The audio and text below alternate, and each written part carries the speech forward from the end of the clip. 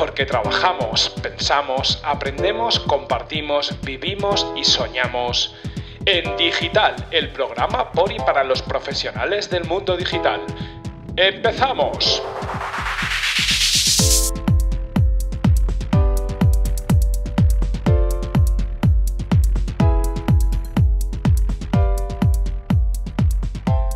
Los seres humanos nos consideramos seres muy evolucionados, pero a pesar de lo que creamos no dejamos de ser relativamente simples en muchísimos aspectos. Debemos en definitiva gran parte de nuestro comportamiento a muchas cosas que se han ido estableciendo en nuestra especie desde hace muchísimo tiempo. A este respecto, uno de los aspectos que está absolutamente presente en nuestro día a día es el hecho de que los seres humanos estamos acostumbrados a ser parte de una tribu. Por eso somos seres sociales, muy pero que muy sociales, mucho más de lo que podamos pensar de primeras. De hecho, somos tan sociales que somos capaces de renunciar a nuestra propia opinión en favor de ser aceptados en un grupo. Y no es algo que diga yo, o algo que podamos ver fácilmente muchas veces, sino que lo demostró Solomon Ash, un psicólogo eh, polaco-estadounidense en los años 50, gracias a sus experimentos sobre la conformidad social.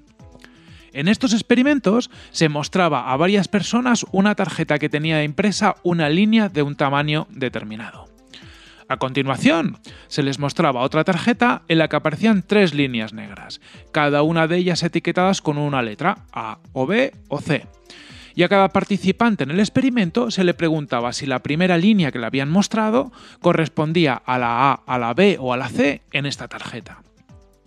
Al principio, debido a la facilidad del experimento, eran líneas muy distintas, se veía muy claramente, los participantes del estudio acertaban la respuesta sin problema, realmente con muchísima facilidad. Pero según iba avanzando el estudio, Solomon iba introduciendo otros supuestos participantes del estudio eh, que estaban realmente compinchados con él. Y estos con pinches de Solomon lo que empezaban a hacer era dar respuestas erróneas para ver cómo reaccionaban los participantes. De esta forma, se analizó, se estudió que hasta el 75% de los participantes de verdad empezaban a dar respuestas equivocadas, pero que estaban alineadas con las respuestas de los falsos participantes del estudio. Con esto se veía que la gente renunciaba en parte a, su propia opinión, ¿no? gracias a la presión social de pertenencia a este grupo se renunciaba a tu propia opinión para dar la respuesta que estaba dando la mayoría a pesar de que tú consideraras que fuera errónea. Este sesgo cognitivo es la base de muchísimas técnicas que utilizamos en nuestro día a día para aumentar la conversión de los negocios online, por ejemplo y algunas cositas que seguro que habéis visto muchas veces. Bueno, los testimonios en la web. ¿Quién no ha visto un testimonio en una web de producto o servicio diciendo que, bueno, que tal cliente ha utilizado tu producto y que le funciona muy bien? Además de los testimonios, tenemos las opiniones, las reviews, valoraciones de productos o incluso los logos de los clientes. Todo esto son palancas psicológicas que apelan a esta lo que llamamos influencia social normativa. Básicamente están orientadas a tratar de hacernos pensar que hay muchísima gente apoyando nuestra solución y cómo vamos a llevar la contraria a toda esa gente que ya ha utilizado el producto o servicio que estamos viendo. No pueden estar equivocados, yo no puedo llevarles la contraria. ¿Vale? Entonces apelamos mucho a esta influencia social normativa. Podría seguir hablando sobre estos temas durante muchísimo tiempo. La verdad que a mí me apasionan y siempre que doy clases de CRO o estas cosas saco muchos ejemplos de este tipo porque bueno, es muy interesante ver cómo nuestra parte animal muchas veces condiciona muchas de nuestras decisiones que creemos que son racionales. Pero voy a empezar a tratar de converger este tema con, con el tema que vamos a tratar hoy en el día, que se, se, encuentra muy, pero que muy cerquita de todo esto, pero ligeramente distinto. Básicamente, hoy vamos a hablar de otro aspecto que también es un claro reflejo de nuestra dependencia sobre lo social, el networking. Y hablamos de networking porque hoy tengo el placer de haber podido entrevistar a Carlos García Trillo, uno de los fundadores de Ponte Cara un evento de networking que nació en LinkedIn a eso de mediados finales de 2017 y que creció como la pólvora hasta alcanzar 350.000 usuarios de LinkedIn, demostrando el interés de mucha gente que se conocía a través de esta red social por tener un encuentro en el mundo real. Con Carlos vamos a repasar los orígenes de Ponte Cara. También vamos a entender las dinámicas orientadas al networking que puedes vivir en el próximo Cara el próximo 28 de marzo. Algunos consejos para mejorar los resultados cuando haces networking en cualquier eh, eh, contexto. Y para finalizar la entrevista nos aprovechamos de que Carlos es también Marketing Manager de Innovation para Europa en PepsiCo para tratar algunos aspectos relacionados con el marketing en empresas de gran consumo. Un tema que para mí resulta súper apasionante y que hasta ahora no habíamos tenido el placer de poder tratar en este podcast. Bueno, antes ya de meternos de cabeza en la entrevista del día, me presento rápidamente. Mi nombre es José Carlos Cortizo, Corti para los amigos, y os traigo todas las semanas este podcast en Punto Digital, el podcast por y para los profesionales del mundo digital. En mi día a día soy cofundador y director de marketing de BrainSense y colaboro con otras empresas como Fotografía e-commerce y Product Hackers. Si te gusta este podcast, por favor, danos un poquito de amor con un like o una bonita review en iBox, iTunes o la plataforma a la que estés utilizando para escuchar este podcast. Y también te recuerdo que te puedes suscribir a nuestra newsletter semanal y descubrir muchísimos más contenidos en nuestra página web en punto digital, en.digital. Para nuestros oyentes que estéis en Barcelona, que sepáis que el próximo 7 de marzo organizamos el evento Las claves del e-commerce B2B en el Movistar Center de Plaza de Cataluña en Barcelona. Y el 13 de marzo también estaremos por Barcelona en el ISO Barcelona con una sesión sobre hiperpersonalización. Tenéis enlaces directos a la información de estos eventos en las notas del podcast y en la newsletter de esta semana también os pasamos unos codiguitos gratuitos para que saquéis vuestra entrada gratuita al ISO. Y sin más, nos metemos de lleno ya en la entrevista de la semana, en la que hablamos con Carlos García Trillo, cofundador de Ponte Cara y Marketing Manager Innovation para Europa en PepsiCo.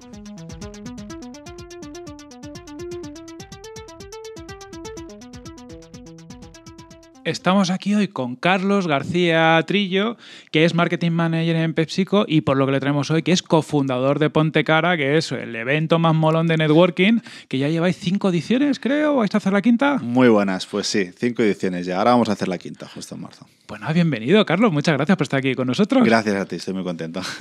Pues empezamos como siempre. Oye, ¿cuáles son tus orígenes en el mundo digital? tus orígenes vienen Mm, parte digital, parte no, pero, pero está todo conectado. Así que cuéntanos, ¿cómo empezaste en el, a trabajar? ¿Qué cosas has hecho hasta ahora? Claro que sí. Pues bueno, yo, yo soy, em, yo vengo del mundo marketing gran consumo. Eh, yo he estado en los últimos casi 10 años trabajando en, siempre en compañías de gran consumo. He estado en, Ferrero, he estado en Reckitt Benckiser, he estado en Henkel y ahora estoy en PepsiCo desde hace un tiempo. Y, y bueno, yo siempre he ido combinando pues, eh, experiencias tanto en, local, en, negocio de business unit tal cual, llevando pues, las marcas y los planes de comunicación, la, estrategia de pricing, todo, como em, ahora recientemente, la, la, última etapa de mi carrera, estoy más en la parte de, de Europa, regional, trabajando, pues, bueno, creando básicamente los, los, activos y los assets para las marcas para que puedan hacer comunicación e innovación. Entonces, eh, ese es un poco mi, mi perfil, eh, digamos, oficial de marketing.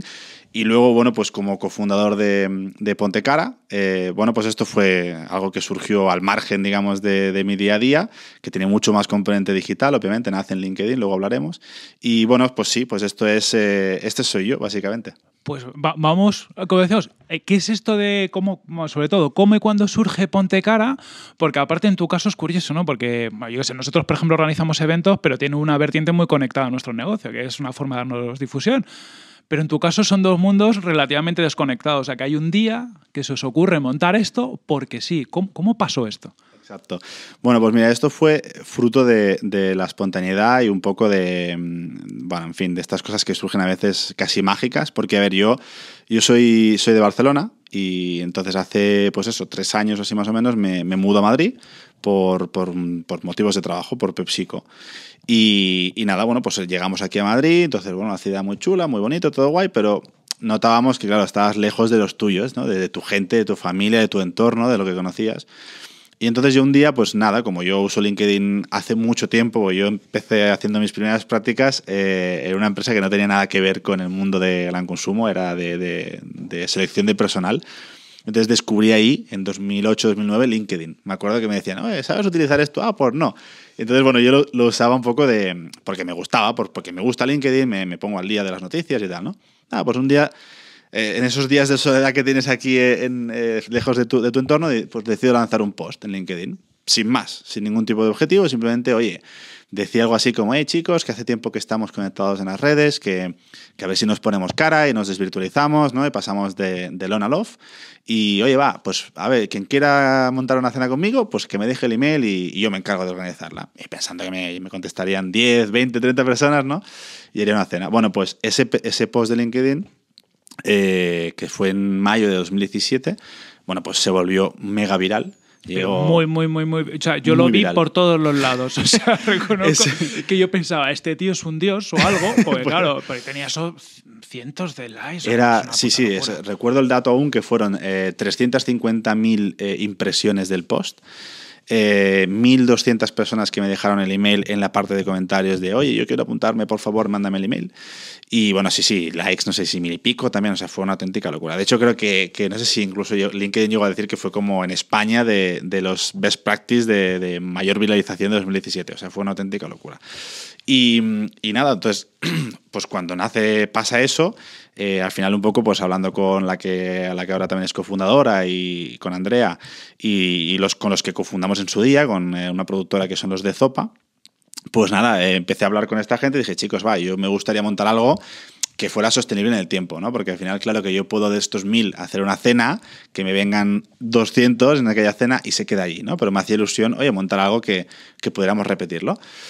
Y nada, pues empezamos a trabajar con, en ello, eh, montamos la marca, el naming Pontecara, compramos el dominio y a partir de ahí empezamos a diseñar el, formato, ¿no? Que, luego, luego comentamos. Pero bueno, empezamos a diseñar un formato de evento, de oye, ¿qué podemos hacer para que la gente realmente pase de Leon a Love eh, y que esté en un entorno a gusto, cómodos y que puedan hacer networking de verdad. O sea, era un poco lo que primaba cuando nació Pontecara. O sea, yo estoy, he ido a muchos eventos y de hecho los que organizáis vosotros Digital Ambience están muy bien hechos. Es verdad que se genera muy buen networking, pero hay muchos de ellos que a veces en la agenda te pone eh, café con networking y la verdad es que llegas solo y te vas solo. Eh, pero eso es, eso es una gran verdad y en, a nosotros nos pasa en eventos que nosotros organizamos, te, tú como organizador muchas veces te centras el contenido y dices voy a poner un hueco para el café. O sea, me pasan los Digital Ambience, dices, yo sé que al final hay cervezas y, y, me despreocupo porque yo mi foco es generar un contenido de valor. Lo, eh, al final es un tema el objetivo. Y yo creo que es lo que hacéis bien vosotros y hay esa necesidad. Hay espacios como el vuestro que son para conectar profesionalmente de verdad a la gente. El contenido es, hay una excusa para generar todo esto y eso lo hacen muy bien. Totalmente. Y es que es, que es eso, es que es justo como lo has definido tú, es que no, nosotros nacemos como un evento de networking. Entonces, obviamente, tú le, lo dotas de contenido, porque creo que hay muchas historias interesantes y por eso hacemos ponencias y elevator pitch y, luego comentamos, ¿no? Y ahora tenemos incluso el blog, porque creemos que hay mucho contenido y, y, queremos que la comunidad se enriquezca, ¿no? Pero al final es eso, o sea, al final nosotros lo organizamos tal que eh, tú vayas allí a hacer networking de verdad. Y además es un networking que no es verticalizado. O sea, que es que lo mismo puedes estar tú que eres ingeniero, que yo soy de marketing, que un fisioterapeuta, pero a todos nos puede interesar conocer gente. Porque yo no tengo por qué estar siempre rodeado de gente de marketing. Me puede interesar historias de ingenieros o de un piloto de avión. ¿Por qué no? Entonces, así fue como nacimos. Entonces, bueno, desde el nacimiento, eh, a ver, datos así, un poco para que te hagas una idea, ya hemos celebrado cuatro ediciones. Hemos hecho dos en Madrid y dos en Barcelona. Ahora vamos a por la quinta edición en Madrid, el próximo 28 de marzo. Y, y bueno, claro, es que desde entonces, eh, bueno, pues creo que hemos conectado ya más a 600 personas, hemos tenido a más de 60 personas que han salido a hacer el elevator pitch. Entonces, claro, ya eh, el orgullo de decir, oye, estamos haciendo que las cosas pasen, ¿no? que la funciona. gente conecte de verdad. Y funciona, la gente tiene ganas. Si la gente se quiere apuntar, el próximo es 28 de marzo en Madrid y la web es pontecara. Pontecara.com, 28 de marzo en Madrid. Sí, Apuntaos que aviso, 70% ya 70% vendido. vendido sí. eh, cuando publiquemos esto será más, o sea, que daos prisa, daos prisa. Pues sí, pues yo, sí. yo, estaré por ahí, por cierto. Yo me, en cuanto os lo he sabido, eh, me cogió mi entrada. Encantados. Vamos a, si quieres, oye, ¿cómo fue el primer año, no? La primera sí. edición. Eh, cuéntanos qué pasó y luego iremos acercándonos a, a, a, qué va a pasar este año. Totalmente. Pues mira, eh, yo, ya que estamos, eh, creo que en confianza, te cuento cómo lo vivimos el, el equipo fundador en su momento, porque claro, o sea, eh, nosotros teníamos claro que, que lo que te comentaba, ¿no? Queríamos hacer una marca que era Ponte Carga, yo vengo del mundo de marketing, mi socia también. Entonces queríamos hacer una marca y queríamos que fuera sostenible en el tiempo. Entonces, una de las cosas que sí o sí decidimos es esto tiene que ser de pago, porque no podemos mantenerlo nosotros, porque es un evento donde hay la cena incluida, hay un welcome pack, grabamos en vídeo, foto, eh, sí, sí, hay mucho dinero detrás, entonces era, bueno, oye, el, corte va a ser que esto va a ser de pago. Eh, y, el formato, que, que, que, bueno, aprovecho ya para explicarte, o sea, el formato es que nosotros tenemos unas ponencias de de alto impacto, alto, alto, valor, que nosotros le llamamos, ¿no? Hemos tenido pues, gente muy guay, yo que sé, pues Lupina Iturriaga de Fintonic, a Yaiza de Goy, a Mara Alarcón de Social Car, al CMO de Globo, o sea, gente guay, ¿no? Que tiene cosas chulas e interes interesantes que contar. Entonces tenemos unas ponencias para dotar de contenido el evento y además lo dotamos de contenido intentamos que sea variado. Es decir, sí que luego hay siempre el perfil emprendedor que explica su historia de éxito, que es interesante, pero intentamos que siempre haya alguien, pues, o experto en networking, o experto en marca personal, para que la gente que ya va allí ya va en esa afinidad, ¿no? A, a entender, a aprender de networking y aprender de marca personal, ¿no? Entonces combinamos estos, estos perfiles. Entonces tenemos ponencias, tenemos elevator pitch que salen entre las ponencias y es voluntarios del mismo evento que hablamos con ellos antes del evento y les preguntamos si quieren salir. Y si es así, pueden salir 45 segundos a exponerse delante de toda la audiencia y a contar lo que les dé la gana. O sea, aquí no filtramos. Simplemente es, ¿te interesa? Pues venga, entras. Dentro Tienes aquí tu minutito con 45 segundos tus, de exactamente, gloria. Y además cronometrados por nuestro maestro de ceremonias. O sea, de verdad es riguroso. ¿no? Entonces tenemos esto, eh, lo que te decía, ponencias, elevator pitch y después ya pasamos a la parte de cena cóctel de pie evidentemente, porque lo que hacemos es organizar la gente en grupos. Tú vas con tu identificador y con tu número, normalmente les ponemos dos números eh, y hacemos un par de rotaciones en las mesas, para asegurarte que tú te vayas a una mesa donde estás con 8 o 10 personas, mucho más privado y mucho más dirigido, porque les obligamos a que se presenten, lo explicamos durante el evento, y después, bueno, damos un toque para que te vayas a la siguiente mesa, a tu siguiente número, y sigas conociendo gente. Y a partir de ahí, ya luego libertad cada uno lo que quiera, ¿no? Eh, entonces, bueno, nosotros, pues bueno, diseñamos este formato. No teníamos ni idea. O sea, era nuestro MVP un poco. Eh, me meto en el terreno que no es mío, eh, pero era nuestro MVP de, bueno, vamos a cobrar un dinero, eh, vamos a dar welcome pack, vamos a dar esto, va a ser en esta localización porque conseguimos llegar a un acuerdo donde también seguimos con ellos, que es el Centro Nacional de Golf de, Madrid. Oye, mira, y, y, este es el formato. Pues bueno, a, a ver qué tal funciona. Y fue una caña. O sea, fue, bueno, yo creo que, claro, el efecto novedad ayuda evidentemente, porque, claro, veníamos de ese post y de ese hype que habíamos generado, un poco por chorra, y nada, y oye, pues empezamos a trabajar y decimos, chicos, que sepáis quién hace esto, ponte cara. Y claro, de, de, esa base de datos que tuvimos, pues, no sé, a lo mejor levantamos eso, pues 800, 900, 1000 emails. Ahora, se han algunos, ido, se, han desuscrito evidentemente algunos porque no les interesaba o lo que fuera, ¿no? Pero bueno, mil, mil personas y dijimos, bueno, chicos, esto es, esto es nuestro pro producto. ¿Os apetece o no os apetece? Y se inscribieron, creo que fueron 170 personas en el primer evento. De pago. De que pago. Lo, que lo digo, que a mí me de, cuesta conseguirlas gratis. Claro, tío, pero es que de pago y sin saber lo que era. Claro, porque tú ahora llevas a quinta edición, tienes unos vídeos, tienes una historia, es relativamente más fácil que la gente confíe en ti porque, bueno, ya, ya he visto que hay gente que ha ido, 600 profesionales, ¿no? Pero en su día no había de nadie, era de pago y funcionó. Yo creo que era un poco, un poco inconsciencia también nuestra, ¿no? De decir, oye, pues yo lanzo esto y a, ver qué pasa y si funciona bien y si no. Y funcionó muy bien, tío. El primer evento fue en septiembre del 17 eh, nada, fue, fue un, arrasamos, eh, súper contentos. Eh, y entonces desde ahí hemos ido también creciendo, hemos eh, conseguido colaboraciones con Revista Emprendedores, con ReasonWhy.es, algunos medios hemos salido también Marketing for E-Commerce salimos hace poco. Bueno, claro, hemos ido cogiendo un poco de, de, peso, ¿no? Y entonces, bueno, pues desde entonces ya crecimiento imparable. O sea, fue primero septiembre 17, luego ya hicimos Barcelona. Nos hacía ilusión ir a Barcelona, que es un poco nuestros orígenes, era a ver qué tal ahí. También fue súper bien. Ahí tuvimos, recuerdo, a, Eva de Tiendeo, a la cofundadora de Tiendeo, a CMO de Globo.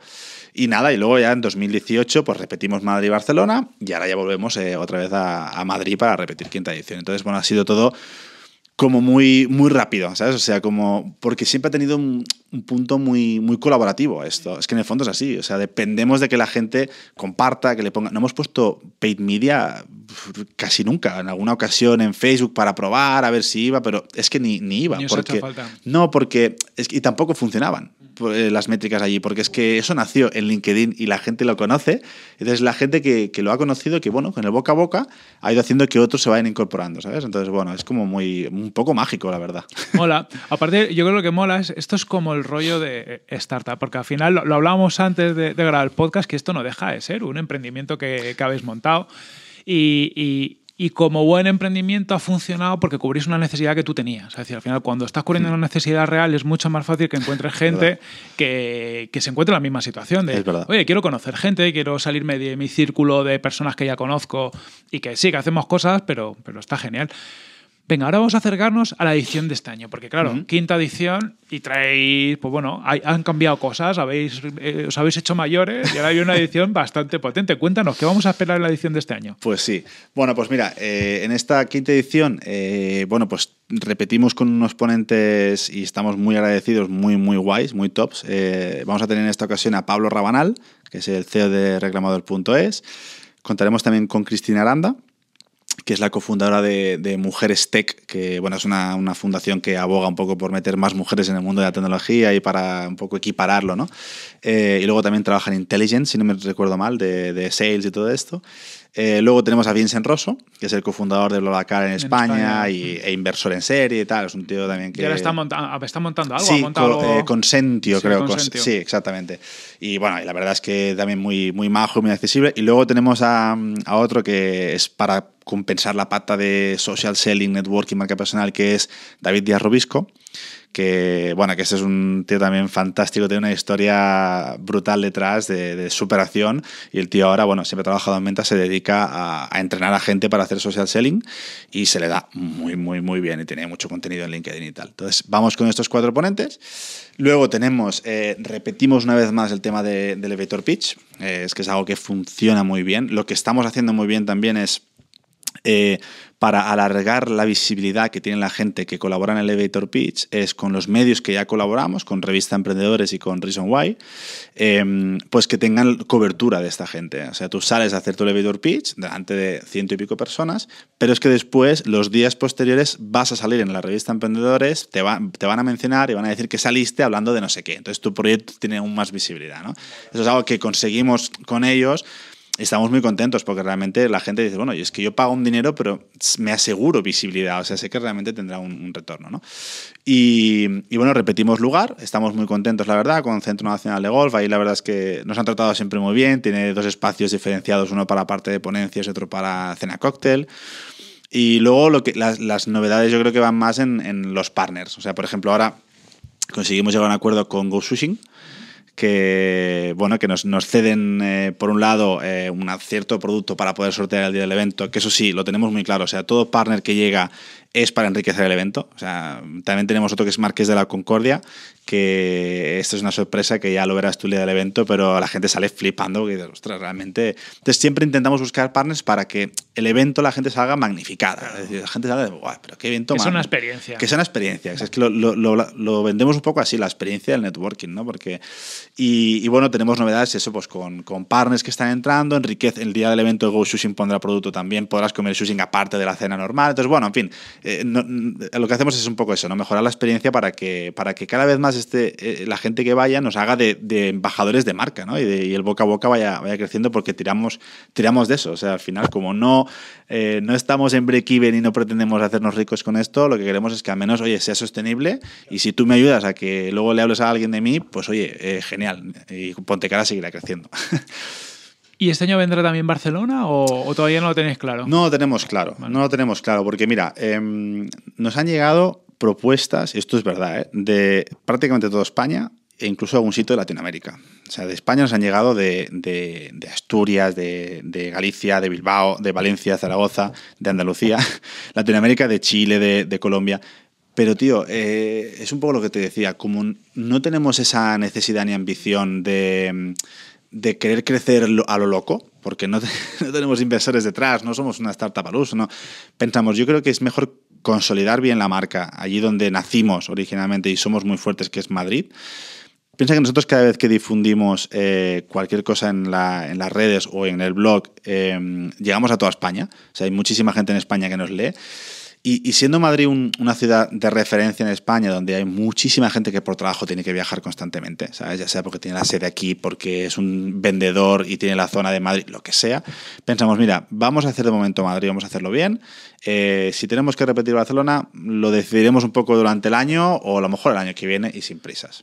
También es que para la gente que no haya organizado un evento en la vida, montar un evento de 170 personas encima de pago, que al final la gente tiene, busca una expectativa y demás es un pifostio del copón. Es un pifostio del que... Son, ¿cuánto, ¿Cuánto tiempo os tiráis trabajando para organizar este evento? Pues mira, eh, te diría que un, mes antes, un mes y medio antes del evento, eh, ya empieza toda la maquinaria a funcionar. O sea, la, la, gran suerte que tenemos es que contamos con voluntarios, o sea, tenemos equipo de, staff voluntarios y unos que les llamamos brand ambassadors que colaboran mucho y nos echan un cable incluso el día del evento, pues para hacer la recepción de la gente, etcétera. O sea, eso sí, pero claro, coordinarlos ya es un trabajo en sí. O sea, coordinarlos, darles unas líneas guía, oye, que falta la cámara, oye, quién llama no sé qué, oye. Entonces, todo esto requiere, ya te digo, un mes, un mes y medio antes y ya lo estás trabajando. Entonces, eso, junto con que, claro, yo vivo en Madrid ahora, si quiero hacerlo en Sevilla o en Zaragoza, es que yo no, no puedo física, físicamente. Sí, porque tu día a día es otra, otra cosa y son ratos muertos. Exacto, entonces pagar a alguien para que lo haga, tampoco. Entonces pensamos, vamos a ir poco a poco. Eh, si a lo mejor el día de, mañana conseguimos que, que, alguna marca realmente crea en nosotros y bueno, nos sponsorice, nos ayude a, a, tener más recursos, pues ¿por qué no? A lo mejor nos podríamos plantear otra, otra ciudad. Pero de momento nos sentimos muy cómodos aquí, lo tenemos muy por mano y, y ya muy bien trabajado y es lo que decías tú, es muy importante. Si estás pagando, tienes una expectativa detrás. Entonces tenemos que asegurarnos de que la experiencia sea única y, brutal, lo que te decía de los partners y de, y de, enriquecer el evento. Y de no bajar nunca la calidad. Entonces eso es lo que prima y nos sentimos cómodos de momento en Madrid. Pues ya sabéis, mm, está, quedan pocas entradas y Madrid va a ser por ahora solo. Yo no quiero decir nada. Pontecara.com. eh, eh, al final esto es un evento en el que dices, yo tengo conexiones en el mundo online, en LinkedIn, y me las busco traer a un evento en el mundo físico. ¿Por qué hace falta? O sea, yo creo que mucha gente lo va a tener claro, pero también es verdad que hay gente que no acaba de entender la necesidad del networking físico y son si lo quieres ver, para mí las redes sociales es una cosa, el networking en físico es otra, cambia mucho. ¿Por qué hace falta también salirnos de vez en cuando de Internet y vernos las caras y hacer este tipo de cosas? Mira, es una muy buena pregunta esta que me haces y, a ver, la realidad es que a nuestro modo de ver ¿eh? desde Pontecara es que es obvio que el mundo digital y las redes sociales abren un abanico de oportunidades en, a todos los niveles que es innegable y que, y que, las oportunidades son infinitas. Nosotros, por ejemplo, eh, a la hora de conseguir ponentes, eh, ya te he dicho, o sea, hemos tenido gente muy, muy potente que si viviéramos en 1995 hubieran sido inalcanzables para nosotros, porque ¿cómo conectabas con esa gente? Hoy en día, pues tienes el Twitter, tienes el LinkedIn, le hablas, le preguntas, oye, pues le caes en gracia y, va, pues venga, colaboro contigo. Entonces, eso es innegable que nos ha generado muchísima oportunidad. Y el networking online genera oportunidades, según cómo lo hagas, evidentemente, ¿no? Pero, pero bueno, oye, combinando esto con, el networking offline, que es que siempre tiene un componente mucho más humano, mucho más del lenguaje no verbal, el de conectar con la gente, el de empezar a generar relaciones de verdad a largo plazo, que eso es una de las cosas que, que a veces ya contamos en Pontecara, que es que chicos, vayamos a disfrutar el evento, o sea, no vayamos a vender, porque si intentas vender no te va a funcionar, igual que no te funciona cuando spameas por LinkedIn, ¿no? que te escriben, oye, que ni te han mirado el nombre, hola, usuario, casi te dicen, ¿no? Pues lo mismo, ¿no? Entonces, yo creo que es muy importante y la gente lo necesita porque es que al final si lo piensas bien, o sea, nuestro, nuestro cerebro está codificado con siglos y millones de historia de, de, contacto humano. Por tanto, intentar meter una pantalla en algo que es tan natural para nosotros no funciona. Entonces, yo creo que la combinación de ambas cosas, el online para llegar a, fronteras que nunca te habías imaginado, con un networking offline donde te miras a la cara, conectas, ya con esa persona ves que sí, creas una relación y esa relación a lo mejor a corto piensas que no le sacas fruto, pero seguro que a medio largo, de un modo u otro, lo vas a sacar. Porque además es la teoría de los seis grados, ¿sabes? De que tú me puedes conectar con... Entonces, yo creo que, que existe la necesidad, la gente que va a Ponte Cara se convence de ello, la dificultad es lo que decías tú, es comprenderlo. Y además, otra de las cosas que eh, muchas veces también explicamos con, la gente de Pontecara es que eh, esto del networking, eh, hago un paralelismo con mi mundo, con el mundo de la innovación que estoy ahora, innovación de producto, que es como que hay un mantra en las compañías a veces que es, bueno, es que la innovación como que no preocupa a nadie porque no es urgente. Y cuando, cuando es urgente, es tarde. ¿No? Pues es un, poco, es un poco lo mismo en el mundo del networking, ¿no? Que es como que está ahí, es silencioso y es como que no te preocupas de networking. Bueno, tú particularmente lo haces muy bien y eres muy crack, ¿no? Pero hay gente que, oye, pues como que no le da importancia. Ya, pero es que cuando le lo necesites, por lo que sea, luego va a ser muy tarde. Y luego vas a intentar ir con la tarjeta en la boca, spameando o buscando lo que sea, y no te va a funcionar. Entonces, yo siempre digo eso, es chicos, yo porque lo disfruto a nivel personal y me gusta, ¿no? pero es que es, recomiendo encarecidamente que lo hagan, ya ni que sea por una, una cosa egoísta, por los que no le guste hacerlo, porque pienso de verdad, cuando lo necesites, tío, tendrás que haberlo ido construyendo poco a poco y tejer tu red de contactos muy poco a poco, porque luego te dará un resultado. Tienes que dar, dar, dar, para que después poco a poco te vuelva o no.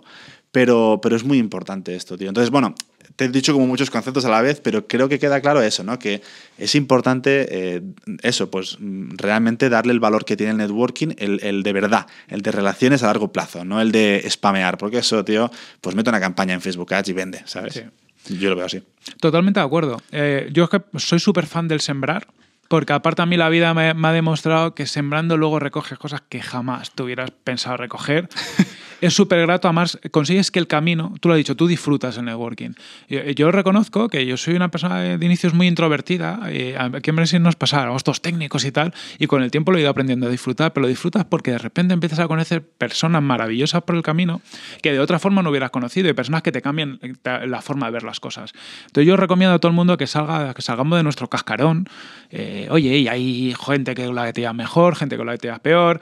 Eh, si eres un poco introvertido, pues al principio te puede costar, pero Exacto. bueno, poquito a poco. Pero mira, precisamente eh, eso que dices del introvertido, eh, pues mira, eh, y no es por venderlo, pero es que, es que es verdad, es que en Ponte Cara ayudamos a que, por ejemplo, esa gente que es más introvertida, que probablemente no vaya a ser el que haga un elevator pitch, porque esa persona no va, no va a querer exponerse, vale, pero tranquilo, porque como vas a ir con tu identificador y con tu número, sí o sí vas a tener que conocer a alguien. Entonces, eh, cuando vayas a esa mesa de 8 o 10 personas, no te voy a decir que tú te expongas a 10 personas, no. Lo hago precisamente pensando en ti, y no en ti, Corti, sí. sino en tú que eres introvertido, es, oye, tú te vas a presentar a la persona que tienes a tu lado. Y esto es una cosa que eh, nos funciona muy bien, no diré que es secreto porque no hay ninguna patente detrás, pero es que normalmente a la mayoría de gente nos cuesta más presentarnos a nosotros mismos que presentar al que tienes a tu lado.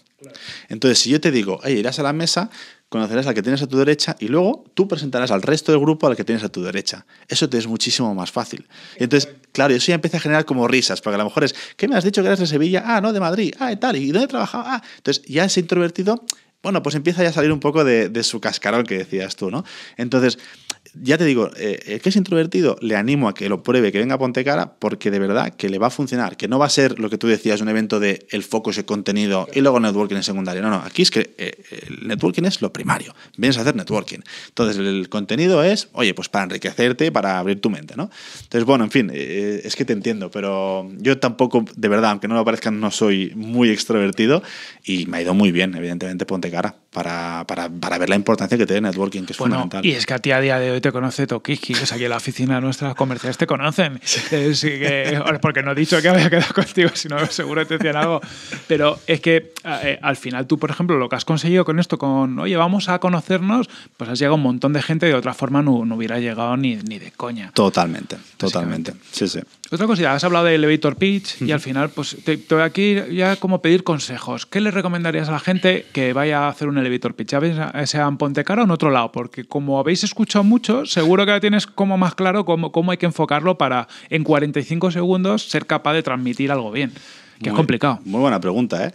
Y tampoco me considero un experto y no me quiero tener, meter en terrenos pantanosos ni nada que no es mío, ¿eh? Pero eh, a base es verdad de escuchar mucho, y yo lo que veo, y esto es algo muy personal, mi opinión, ¿eh? Yo lo que creo es que en 45 segundos eh, se puede comunicar muchísimo. Yo vengo del mundo de marketing gran consumo, donde, bueno, tú lo sabes bien, la, la tele históricamente ha sido nuestra herramienta eh, más potente. Y claro, yo eh, si algo he hecho son varias campañas de televisión donde sabes tú que son 20 segundos, máximo 30 segundos, a no ser que tengas mucho dinero y te vayas ya al minuto, que eso lo hacen cuatro gatos. Entonces, en 20 segundos he aprendido a comunicar mucho en campañas de comunicación. Bueno, pues eso extrapolado al mundo elevator pitch. Pues yo creo que los consejos son, eh, evidentemente, preparación. ¿Vale? Esto es como muy obvio, ya lo sé, pero esto ya lo doy por supuesto. Muy obvio, pero, pero luego pasan cosas. Luego pasa. pero de verdad, el, hace poco leía un libro que el, este el de Guy Kawasaki, que hace el de Emprender 2.0, no sé qué, que este estuvo en los inicios de Apple. Y el tío decía que mm, Steve Jobs, cuando. Ya sé que Steve Jobs está muy, muy manideado, ¿eh? pero es que hablaba en un ángulo diferente. Decía, eh, nos pensamos todos que Steve Jobs, cuando salía a hacer su speech, era súper natural, era un gran orador y no os podéis imaginar la cantidad de horas que el tío se pasaba practicando delante del espejo para que ese movimiento de mano o para que ese, eh, esa pausa quedara natural. O sea que hay, hay, que preparárselo muy bien. En 45 segundos, bueno, yo he hecho campañas de tele en 30 segundos y nos hemos tirado 6 y 8 horas de rodaje para que en 30 segundos comuniques bien. ¿no? Entonces, mucha preparación. Entonces, yo creo que la clave es en una presentación, si, si tú no eres el producto, o sea, si tú estás representando a, tú eres lo de menos. O sea, tú eres el logo y es en plan, a mí el logo me da igual, propuesta de valor. O sea, rápidamente pasar a propuesta de valor. Hola, soy no sé qué, trabajo en tal y nosotros nos dedicamos a tal, os podemos ofrecer el beneficio claramente, bla, bla, bla. Y luego, que esto también mucha gente cae en el error. Em, oye, hacer un call to action final. ¿Sabes? ¿De qué esperas? No sé, o sea, eh, me puedes buscar en la web tal, o agrégame en LinkedIn tal, o mira, he hecho un hashtag no sé qué, mm, compártelo, o oye, ven a buscarme después, por favor, porque busco Que estoy algo. aquí o... dime algo, porque es que si no, me quedo como, ah, se acabó el tiempo, aplauden y es como, vale, se ta- no. Entonces, evidentemente, si a alguien le has interesado, obviamente que te irá a buscar. Pero es que a lo mejor hay alguien que le haces un call to action de no sé qué de LinkedIn, de o tal o Pascual, oye, le puede interesar y a lo mejor, a lo mejor no te quiere ver a ti después, pero sí que te buscará o en LinkedIn o lo que sea. ¿no? Entonces, importante acabar con un call to action, con un contáctame en. Y esto funciona muy bien. Entonces, al final, yo diría que es eso, es intro muy, muy corta, propuesta de valor rápidamente, qué beneficio me, me puedes dar, por qué te tengo que creer a ti, ¿no? un poco el reason to believe rápidamente y luego, oye, cómo puedo contactar conmigo, ya sea hoy o por redes o lo que sea. Y con esto suele funcionar muy, muy bien. Bueno, ya tenemos aquí aprendizajes y hay cosas que todavía tengo que pulir. Porque es verdad, luego sobre el papel suena todo bonito y luego nos liamos cuando tenemos que presentarnos. Y luego- eh, yo estoy muy de acuerdo en si no te lo preparas, es muy fácil que te acabes por los cerros de Úbeda y no se transmite eh, nada. Absolutamente. Abs- Si no somos David Broncano, que es un mega crack Claro, sí. improvisando, te, te vas, porque es lógico, porque tu cabeza va más rápido y tú eres igual que yo creo, va tu cabeza más rápido que tu boca. eh. No, no, oye, preparación, tío, guionizado y prepararlo en casa con gente de confianza y hacerlo varias veces y que la persona te diga, "Mm, esto no lo veo, o quítame esto, esto no me aporta nada, esto, fuera, fuera, fuera. Y luego ir al punto. Y si se lo cuentas a tu madre, lo entiendes, sobre todo los que nos dedicamos a tecnología, y esto lo uso mucho, porque le- yo todavía, mi madre no sabe lo que hago, no sido capaz, lo reconozco. Clásico. Pero, pero es muy importante decir, oye, habla a gente normal, porque claro, si le hablas a la gente que está contigo en el curro, pues te va a decir, sí, sí, esto se entiende. Mm, Pero has usado Big Data. IoT y no sé qué. Y el que no sepa lo que es el blockchain va a decir, pues muy bien. Totalmente. Yo recuerdo que. eh, re- mira, recuerdo que en la, en la tercera edición, eh, unos chicos, los de Power MBA que te comentaba antes, salió el, el cofundador y coceo, que es Rafa, Rafa, Rafa Gozalo, a hacer su pitch de Power MBA. Y justo ahí estaban, pues no te diría que naciendo, pero llevaban pocos meses y ya les estaba yendo muy bien. Y recuerdo que, claro, el tío, pues para hacer su pitch, que evidentemente de Power MBA no es complejo de entender como producto, pero bueno, hay gente que a lo mejor si no está en el mundo no puede entender muy bien, que es algo online, es un MBA, pero como, el tío hacía paralelismos de es el Netflix de, es el no sé qué de, esto funciona muy bien, vale que a nivel de inversor hay muchos que están cansados de escuchar ya, soy el Nespresso de, soy el Netflix de, vale, pero, pero a la gente normal le puede, o sea, hace el paralelismo mucho más rápido, lo asocia rápidamente. Entonces, ah, coño, Netflix de, ah, hay un MBA y me tan barato, ah, pues ¿por qué no? Entonces, la propuesta de valor queda mucho más claro, eh, como dices tú, democratizando también el lenguaje. No todo el mundo tiene que entender nuestro mundo, ¿sabes? De, de marketing o de Sí. negocios. Y aparte es un mundo muy complicado hasta para los que estamos dentro, que ya Jolín, no- exactamente. Que es lo que dices tú, que si IoT, que si Big Data, que si AR, que si. Hostia, al final. sí, sí. Te voy a pedir más consejo para aquel que quiere ir a un evento pues como puede ser Ponte Cara, ya no a dar un elevator pitch, sino a sacarle el máximo partido. ¿Qué cosas tienes que tener preparadas de casa? Y, y cómo prepararte, ¿no? Porque yo al final soy súper fan de los eventos, pero mucha gente me dice, a, eh, a eventos de cualquier tipo, es que no le sacamos partido, ¿no? Voy y digo, pero es que tú te lo has preparado. Claro. Ya bien sea una feria, ya bien sea un evento de contenidos, ya lo que sea, cada evento tiene su preparación. Pero un evento de networking, yo creo que para sacarle partido lo mismo, tienes que ir preparado de alguna forma. Tips para ir preparado. Absolutamente. Pues mira, eh, aquí tenemos, eh, hay dos, yo creo que hay varios, pero bueno, sobre todo dos perfiles que identificamos en Ponte Cara. Eh, está el perfil que mm, viene a disfrutar, ¿vale? Y esa persona no le aconsejamos nada, porque al final, eh, yo siempre que hablamos de Ponte Cara digo lo mismo, es que nosotros competimos con cualquier actividad de ocio. Porque al que le gusta hacer networking y el que sabe lo que es Ponte Cara y tú lo vivirás, verás que es prácticamente un evento de ocio y te compites con teatro, con cine, con circo. Entonces, el que viene a disfrutar, oye, tío, ven aquí, disfruta, pásatelo bien y lo que decíamos, intenta que fluya y la vida ya verás dónde te puede llevar. ¿vale? Conoce gente. Vale, el que ya viene con un perfil un poquito más profesional, más enfocado a, no, no, que quiero conocer gente, quiero tener resultados. Lo que les decimos es, mira, depende de lo, que, de lo que tú pretendas o lo que tú entiendas por conseguir resultados. Es, bueno, si tú lo que quieres es visibilidad, te aconsejo que hagas el elevator pitch. Ese punto número uno. Y eso, como decíamos, es preparación. Por tanto, si eso es lo que tú quieres, quieres visibilidad porque eres un estudiante, has acabado el MBA y buscas trabajo, porque buscas un socio, porque lo que tú quieras, sal al pitch, prepáratelo y tal, exponte. Que lo que tú quieres es, no, mira, es que yo he visto que uno de los ponentes pues me gusta mucho, me interesa mucho, quiero, vale, pues prepárate, ves a ver su LinkedIn, stalkealo un poco, mira a ver de qué ha hecho, intenta entender dónde estudió o cualquier cosa para conectar con esa persona. Y cuando vayas a hablar con esa persona, que tú ya le quieras pedir algo, un consejo, lo que sea, vea que ya te has mirado un poco su currículum, que vivió en Dinamarca, que estudió no sé dónde. Entonces, prepárate un poquito de eso. Pues hablo, por ejemplo, de Vincent Rosso, ¿no? Gente que normalmente es poco alcanzable, pero que es muy maja y es muy agradable al trato. Entonces, oye, seguro que si tú te lo preparas un poco y él lo ve y no ve que estás spameando, pues seguramente estará con una cerveza contigo tranquilísimamente, ¿no? Luego tenemos el, eh, si no es ponente, si no es pitch, luego tenemos el resto de gente. Entonces, a ver, nosotros, em, por definición, un poco por esencia y filosofía, no compartimos los datos de la gente que vaya al evento. O sea, yo si tú corte y me pides, yo no te voy a mandar una lista para que tú te hagas, te lo prepares. No, porque es porque creemos que se pierde un poquito la magia. Sí, y eso haría que fuera demasiado comercial. Exactamente. Ya vas con mucha intención. Exactamente. Entonces, sabiendo eso y partiendo de esta base que no pretendemos algo tan comercial, sí que es verdad que hay gente que le interesa, entonces lo que hacemos es una especie de llamamiento juego antes del evento, que funciona muy bien, que es que cuatro o cinco días antes del evento mandamos un email a toda la base de datos, que van a ir los 150, los 180, los que sean, y les decimos, chicos, sabemos que algunos os queréis conocer antes del evento, por lo que sea. Oye, pues ¿qué os parece si jugamos con el hashtag de yo también voy a Pontecara? Y os podéis traquear vosotros mismos y funciona súper bien. Y la gente se lo pasa, pero hemos tenido casos de gente que se ha grabado, oye, pues yo voy a... Y no pedíamos grabar, ¿eh? pedíamos un copy, ¿sabes? Una frase. Y la gente, pues, no todos, pero a lo mejor 40, 50, 60 personas se ponían a ello porque les interesaba. Entonces ya la gente ahí entra, oye, este trabaja en la agencia tal, este no sé qué. Y luego se stalkean entre ellos y bueno, pues ya la gracia de, oye, pues tú hiciste el vídeo, pues ya jugamos siempre con ese tono, ¿no? Un tono un poco informal, un poco de, divertimento, ¿no?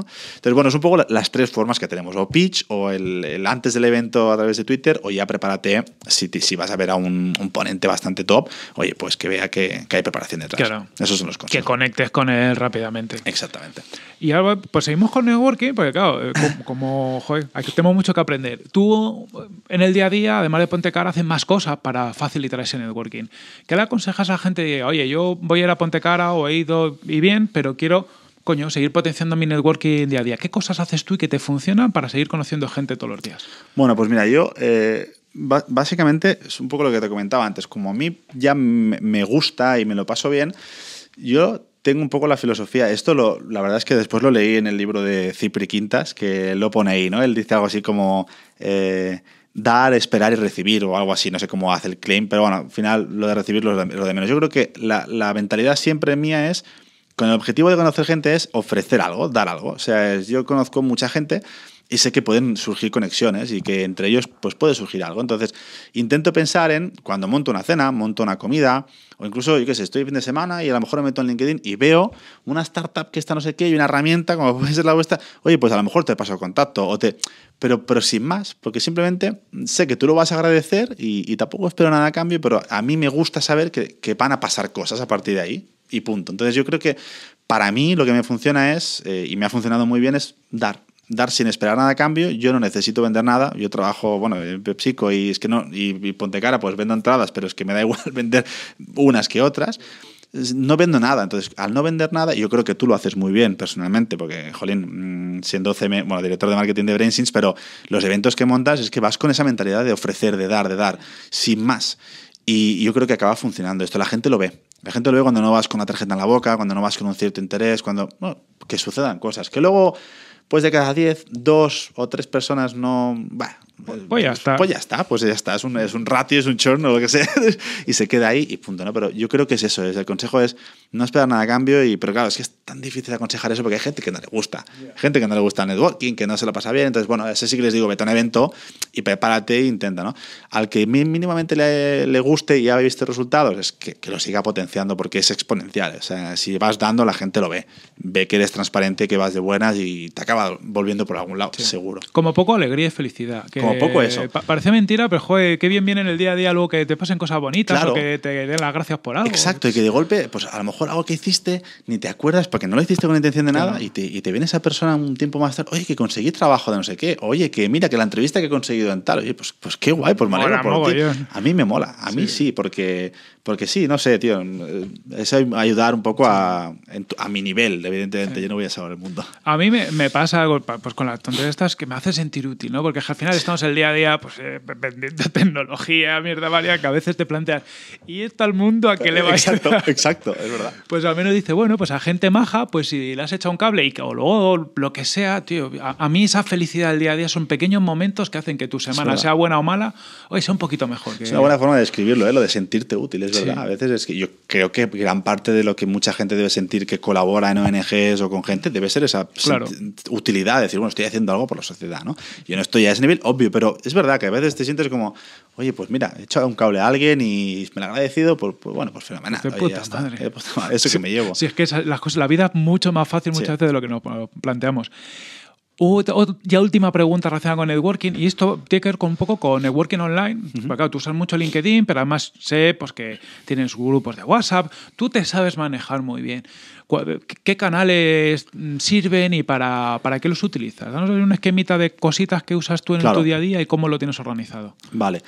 A ver, yo, em, yo lo que te decía, yo por ejemplo, la red social que más uso, pero porque, porque me gusta a mí y me interesa, siempre ha sido LinkedIn. Yo desde que, desde que descubrí LinkedIn, para mí es un agregador de noticias de mi mundo. Entonces yo ya entro por, porque sí, cada día. Para formarte. sí, para, exactamente. O sea, es como que me meto en, eh, en, el país o en cualquier diario para informar un poco de temas políticos y tal. Pues me meto en, en, LinkedIn y rápidamente qué está pasando en mi sector, qué mis competidores, la tecnología, tal. Yo ya lo hago. Entonces, yo a partir de ahí, pues claro, en mi feed mismo, que a lo mejor estoy ahí cuarto de hora, 20 minutos, veo cosas. claro, que tengo una red amplia, voy viendo, pues veo que BrainSense ha lanzado ahora una herramienta no sé qué, y sé que el otro día estuve charlando con tal. Bueno, pues a lo mejor luego me la apunto, pues tengo una node ahí y, oye, pues me apunto, oye, luego le acorto y le escribo, hago tal. Entonces, yo para mí LinkedIn es la que me funciona mejor con diferencia. Em, pero claro, LinkedIn hay que trabajarlo bien. Es decir, hay que compartir contenido eh, de tu sector, hay que, hay que interactuar con la gente, hay que cuidar la comunidad. Entonces yo intento, pues eso, pues eh, tenemos, conozco mucha gente y, hay gente que comparte contenido, pues interactúo con ellos, intento también aportar algo de valor en el debate si están abriendo, algún debate. Entonces eh, no se trata solo de estar y de tener ahí una masa de gente, sino de, de, cuidarlo, de trabajarlo. ¿Cuánto tiempo le puedes dedicar al día a LinkedIn, más o menos, en media? Pues Mira, si hacemos el promedio, te diría que a lo mejor una hora al día en LinkedIn. Pero claro, eh, no es un promedio realista, porque a lo mejor en un martes o en un miércoles le dedico 15 minutos, 10 minutos, pero es que a lo mejor el fin de semana, y yo soy muy de publicar el fin de semana a deshora, y si fuera de toda guideline, es verdad, a lo mejor me, estoy dos horas en, en, un sábado en LinkedIn, pero porque es que me gusta, porque es que descubro cosas, descubro startups, descubro herramientas, entonces el sábado a lo mejor me tiro dos horas y el otro día 10 minutos. Entonces, si lo promedias, más o menos una hora al, al día me tiraría en LinkedIn. Sí. Pero está bueno tener referencia porque la gente, eh, cuando dice yo uso LinkedIn, hay usos y hay usos. Claro. He pasado lo mismo. Entre semanas me cuesta más, pero yo planifico muchas noticias el fin de semana. Oye, esto me mola, pero claro, tengo 20 cosas que me gustan mucho, ¿no? Pues bueno, esta la voy a publicar tal día y demás. Eh, tienes que tener una mínima estrategia. Y esa estrategia ni siquiera es un tema egoísta tuyo, ¿no? Es decir, oye, yo quiero seguir aportando valor a mi comunidad. Al final es un tema de quiero seguir estando visible a lo largo de la semana, pues tienes que, mm, de alguna forma u otra, tienes que dedicar ese tiempo. Yo he aprendido que dedicándole cinco minutos al día, es para mí es imposible hacer algo que no sea auto-spam y que no aporte valor ninguno. Totalmente de acuerdo. Sí, porque es que yo creo que, claro, bueno, siguiendo con las herramientas, es un poco, yo pues claro, LinkedIn la uso evidentemente como difusión, ¿no? Y como información, pero luego, por ejemplo, eh, una que se llama Get Pocket, que es para guardarte los links de, esto me pasa muy a menudo, si yo es un lunes un martes que no tengo tiempo y es que realmente no puedo y es a lo mejor el momento antes de ducharme que estoy en LinkedIn, veo algo interesante, no me da tiempo de leérmelo, cojo el link Get Pocket y es una de las herramientas que uso, ¿sabes? De, oye, guárdatelo, léetelo el viernes por la tarde o el fin de semana o cuando sea, y a veces, como muchas veces son atemporales, evergreen, el contenido, piensas, ¿qué más da hacerlo ahora? que Porque yo no, vivo de la ola, o sea, yo no necesito ahora decir, Zuckerberg ha dejado Facebook, que yo lo hacen los medios de comunicación, ¿no? Entonces yo esto también lo utilizo mucho, ¿no? Es, cuando no tengo tiempo es, oye, guárdate el link y lo que decías tú, luego el fin de pues para tener un mínimo de visibilidad o aportar algo de valor, oye, pues trabajadero un poco y piensa, ¿no? Un mínimo de, oye, esto es martes o es miércoles, y voy a referenciar a esta persona o etiquetaré a este otro porque no sé qué, ¿no? Entonces es tener un mínimo de estrategia para que te funcione. Entonces, em, yo son las que, sobre todo las que utilizo. Por ejemplo, em, luego, sí, grupos de WhatsApp, eh, Mm. que hace poco también hicimos uno, bueno, que... El, que el nació- Digital Ambis, que lo de- cre- creaste tú. Y, y bueno, y que tiene, sigue, joder, yo que- lo flipo porque que sigue, teniendo movimiento. Sí, sigue funcionando. Es que al final gente, eso ya sí que es verticalizado, ¿no? Ya para más marketing y funciona porque la gente respeta bastante las normas, no spamea mucho y bueno, y aporta bastante valor. Y luego hay gente que dice que Slack, yo particularmente no lo uso, pero esto es algo mío personal porque por trabajo o lo que sea no lo tengo que usar, pero sé que mucha gente del entorno lo utiliza y les funciona bien, porque luego se hacen sus grupos y tal, y es como que se hace menos pesado a veces que WhatsApp, dicen, ¿no? Telegram también, pero yo tampoco lo uso. No sé, yo creo que esas son las herramientas, pero al final, al margen de las herramientas, es, es lo que decías tú, ¿no? De, de, de pensar en aportar valor y en planificarlo un poco, en no, en no ser espontáneo y no pensar que, que LinkedIn es un portal para buscar empleo solamente porque no, no va por ahí las jugadas. Es que si quien piense eso es mentalidad un poco de que no, no se ha actualizado con LinkedIn. Justo. Sí, e- es al final, cuando se habla de la marca personal, que yo creo que a veces a mí me satura, Sí, ¿no? El sí. Pero al final sí que es verdad que, joder, tú tienes que transmitir y aportar a los demás y de esa forma pues va, va generando más valor Claro. y, y ese valor personal tuyo percibido por el resto de gente que te sigue es lo que hace que algún día sea más contratable o que te salgan más oportunidades. Tal cual, tal cual. Es Y- tratarte como una marca. Exactamente. Y, y los, es que los consejos son eso. O sea, es en, en el. Esto de la marca personal que dices tú, ¿no? O sea, es que del sector en que tú estés, oye, pues quiénes son los referentes, dónde está el contenido guay, qué puedes aportar tú en esa curación de contenidos que vas a hacer, y luego lanzarlo, generar un debate, seguir construyendo tu comunidad, ¿no? En tu entorno, y ya, ya te llegará la marca personal, ¿no? De que, Tranquilos, es que te llegará de forma natural, como te ha llegado a ti, o me puede llegar a mí, o cualquier persona. Pero, pero sin más, yo creo que yo creo que he tenido menos estrategia de la que parece, porque de verdad que no, es que muchas veces no tengo tiempo, de verdad, y por eso me pasa muchas veces que lanzo el fin de a lo mejor un contenido y pienso, es que me da igual la interacción que tenga, pero me gusta este contenido, lo lanzo y luego resulta que funciona muchísimo, porque es un vídeo de una campaña que he visto no sé dónde y a la gente le mola, y, y se va a conectar el sábado que el domingo la gente, ¿eh? Entonces yo creo que, pero sí que un mínimo de, de eso, de, de- de preparación. Ya para acabar la, la entrevista, quería salirme a tema networking, porque al final no hemos tenido a nadie de gran consumo en el podcast. y tú te llegas a marketing de gran consumo. Sí. ¿De qué cojones va esto? Porque claro, aquí nos hacemos seguro todos la, la imagen de tíos ahí todo el día haciendo spots ahí de la tele y demás, pero creo que va muchísimas más cosas. Cuéntanos un poco, ¿cómo es Pues tu día a día? Pues sí. No, pues mira, esta es una pregunta que, que, madre mía, lo que decías antes tú de tu madre, ¿no? Que yo creo que, madre, ¿este qué hace? Bueno, pues mira, nosotros en, eh, yo ahora mismo estoy en, la- en la parte de innovación, de gran consumo, innovación de producto, que no de comunicación eh, digital. Y, mm, pero bueno, al margen de- del tema de innovación, ¿no? o sea, al final gran consumo eh, es, es, un- es una industria muy, muy particular, ¿vale? Porque lo bueno que tiene gran consumo es que eh, tú estás compitiendo, yo qué sé, pues en bebidas, en detergentes, en chocolatinas, en el segmento que estés y compites con muchísimos players. Esa es la realidad. Entonces, eh, el objetivo primordial de- del mundo de gran consumo es generar mucha imagen de marca, mucho, evidentemente, awareness, top of mind y que te conozcan y que te consideren a ti antes que a otro, pero después, que eso es 20% de nuestro trabajo, campañas, cosas chulas y tal, pero luego la realidad es que la guerra está en el punto de venta, la guerra está en más espacio en el lineal, la guerra está en cómo salgo del lineal con un stopper, con un floor stand, con lo que sea, entonces eh, es mucho más analítico eh, y mucho más de resultados de lo que realmente parece. ¿no? O sea, al final, en el mundo gran consumo tenemos nuestras agencias de comunicación de medios, que son los que nos ayudan a hacer la difusión de la imagen de marca. Pero ya te digo, la guerra está en, oye, yo tengo un detergente, o yo tengo una bebida, y yo necesito eh, no solamente robarle a mi competidor directo, sino robarle a lo que te decía antes del el competidor indirecto, ¿no? ¿Con, con quién compites? Pues, pues al final, en el mundo de las bebidas refrescantes, todos competimos contra todos. O sea, contra el agua, contra los zumos, contra. Porque tú cuando vas a tomar una bebida, tú no piensas, no, mira, eh, yo ahora quiero un refresco y dentro del refresco quiero esta categoría, estos subsegmentos. No pienses así. O sea, tú eres, estás ahí, quiero, tengo más sed, tengo, quiero algo más dulce. Entonces, eso es muy complejo. Trabajar primero la imagen de marca, pero después trabajar eh, eso, el punto de venta, la estrategia de precio, de pack size. Hay mucha parte que al final en el mundo gran consumo se ha ido profesionalizando muchísimo y ahora ya marketing es una combinación de cosas. O sea, tienes tu departamento de insights que te nutre de datos para entender dónde competir y cómo ganar y dónde van las tendencias. Eh, luego tienes tu departamento de revenue management muchas veces que es la pasta, ¿no? oye, aquí cómo sacamos pasta, el, qué, formato tiene que ser, cómo lo hacen los competidores, a qué eurolitro, a qué eurokilo. Eh, luego tienes la parte de trade marketing, que son los que hacen punto de venta. Entonces, al final marketing está medio, ¿no? Un poco como el prime mover de todo esto y tiene que hacer el puzzle para que tu plan de marketing funcione. ¿no? Y en un entorno mega competitivo, España, país maduro, categorías maduras. Eh, esto no es un país emergente donde todo crece a doble dígito. Entonces es, es, hay mucha parte analítica y es fast moving, es eso, se mueve todo rapidísimo y rápidamente tienes que. Es, es apasionante. A mí, bueno, es que llevo toda la vida ahí. Te mola, se nota. Y, me, mola, me mola mucho. Es verdad que tiene. Em, tiene un componente digital obvio en la parte de brand equity, ¿vale? O sea, de generar equity, porque obviamente la gente hoy en día está mucho más en digital que en tele. Esto es obvio, en según qué targets, evidentemente.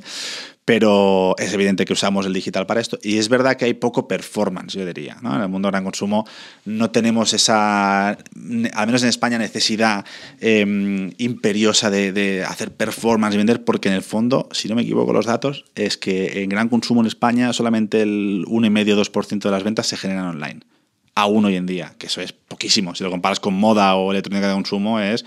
Entonces, claro, hay menos necesidad de performance, pero llegará, llegará. Y yo creo que estamos todas las de gran consumo en un proceso de transformación de decir, bueno, oye, ¿cómo empiezo a competir mejor allí? Eh, ¿Dónde están los canales de distribución? Eh, ¿Cuáles son los key players que ya venden y cómo me, ¿no? me hago alianzas con ellos? Entonces, el gran consumo yo creo que aún eh, no ha llegado como tal una disrupción bestia, porque aún el retail físico es muy importante y ahí está la guerra y ahí está el negocio. Pero yo creo que en los próximos 5 o 10 años mm, habrá una disrupción muy, muy fuerte ahí se nota. Yo hace poco estuve dando clase de temas de e-commerce, gran consumo, mundo cervezas, por ahí, y, es en donde está, ¿no? Diciendo, mm, nosotros ahora esto no nos la refanfinfla, pero, pero sabemos que dentro de poco esto nos va a dar muchos dolores de cabeza. Entonces nos estamos preparando. Totalmente, lo que hablábamos antes, mira, por ejemplo, la cerveza, que el mundo hostelería es fundamental y es clave para ellos, pero lo que hablábamos antes, ¿no? De la, de la innovación, ¿no? Que nadie se preocupa, pero cuando ya te preocupa es que es tarde. Pues lo mismo, o sea, ahora ya tenemos la cabeza todas las de gran consumo. Bueno, no, estoy en todas, pero cuando veo gente de mi entorno, de mi mundo, ya veo que estamos todos pensando en ese futuro, aunque a día de hoy no es tan relevante, pero tienes que empezar a hacer la fase de sembrar y de seeding porque, ya te digo, en 5 y 10 años esto va a explotar. Y de hecho, eh, si no me equivoco a nivel mundial, eh, el país que más peso tiene de sus ventas, eh, total ventas de que les viene de e-commerce, creo que es Corea del Sur, si no me equivoco, que el 18% de las ventas vienen, ya es un, es un, peso fuerte. UK está ahí en 7-8%, queda un pequeño, pero bueno, ya cuando ya te llega un... Ya relevante. Ya, ya empieza a ser relevante. Entonces te digo, estos mercados que muchas veces están más evolucionados por penetración de Internet, por lo que sea, es que al final es obvio que llegará a España o a toda el sur de Europa. Entonces, el que más preparado esté, el que más se haya digitalizado y haya tenido la cabeza en cómo hacer negocio allí, eh, más ganará evidentemente. Aunque aún a día de hoy pueda ser en categorías de alimentación nadie compra un refresco online a día de hoy, muy poca gente, ¿no? Haces una compra total, ¿no? Y en tu compra, pues en los commodities tienes ahí tu refresco, ¿no? Pero aún, aún es poco, poco relevante. Pero llegará, ¿eh?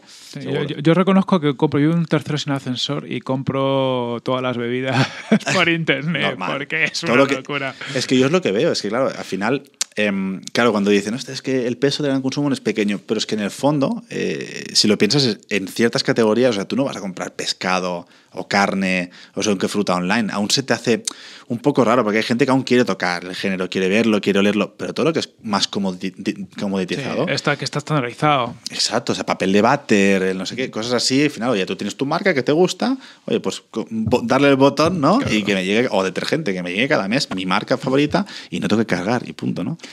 Una cosita, porque hablabas de tu rol de marketing y yo que estoy muy metido en producto digital, a mí tu rol de marketing me suena mogollón, mogollón, mogollón a un product manager.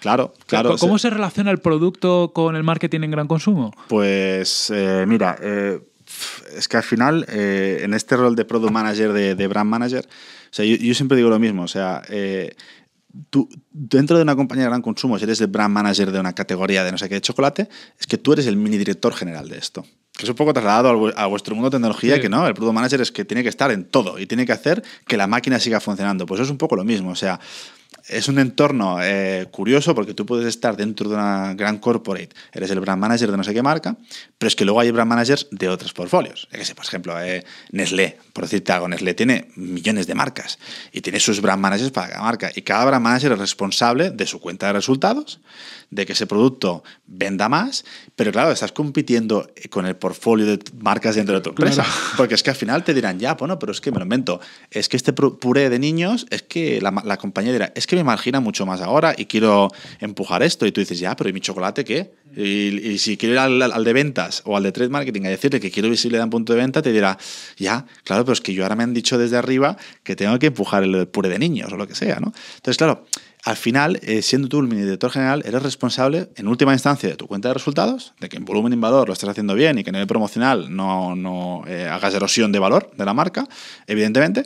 Pero después, bueno, pues eh, responsable de la comunicación de la marca, de cómo está la salud de tu marca, de cómo ejecutas en punto de venta, de ganas o no ganas share contra tus competidores. O sea, es una visión 360, es una auténtica locura, mega divertida. Y ya no te digo, si trabajas en una empresa local donde encima desarrollas tu producto, eso ya es la, la bomba. O sea, yo qué sé, pues me imagino que Mau, ¿no? que es española, que es local, ellos hacen aquí el desarrollo de producto. Entonces tú tienes que estar con tu departamento de I+D, con el departamento de operaciones o planta o la fábrica, con el de finanzas, con el de legal, porque a ver el claim si me lo dejan decir o no, tal. Entonces, claro, tú eres el responsable de, de meter, consolidar todos estos stakeholders y hacer que empujen para, oye, pues lanzar un producto o lanzar una propuesta de mercado o ejecutar lo que sea. Entonces, es, este rol de product manager, un poco de, de visión 360 que mola, porque no estás solo haciendo ventas o solo haciendo PNL, ¿no? O sea, realmente haces todo todo. Y, sin llegar hasta el detalle de todo, pero coordinando y haciendo que la máquina funcione y que tu marca siga creciendo. El, objetivo final es que tu marca crezca.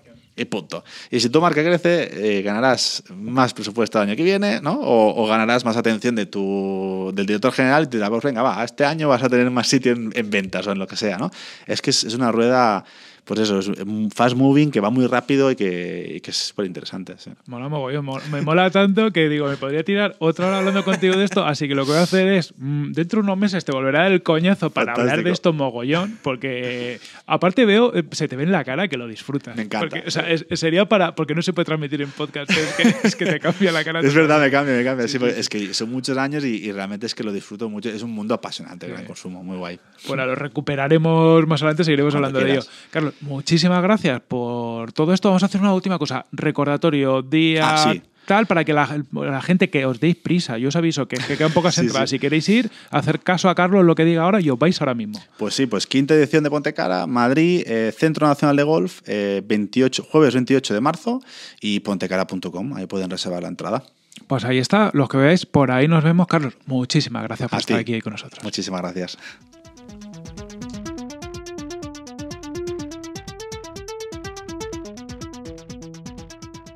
Espero que os haya gustado de verdad el, bueno, el episodio de esta semana. Yo me lo he pasado genial con Carlos, que además es un tío súper grande, es, es una persona muy maja, merece la pena que, lo conozcáis y algún día podéis pasaros por algún evento de, de Pontecara, es un tío encantador. Por lo dicho, espero que os haya gustado. Recordad, oye, si os ha gustado, nada, un like, una bonita review en iBox, en iTunes o en la plataforma a través de la cual nos estéis escuchando. Eso nos ayuda a llegar a más gente y eso nos hace muy felices.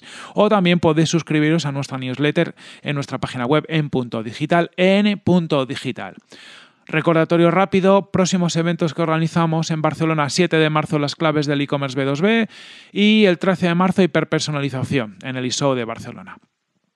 Sin más, acabamos ya el episodio de, esta semana. Como siempre, la próxima semana más y mejor. Y un fuerte abrazo.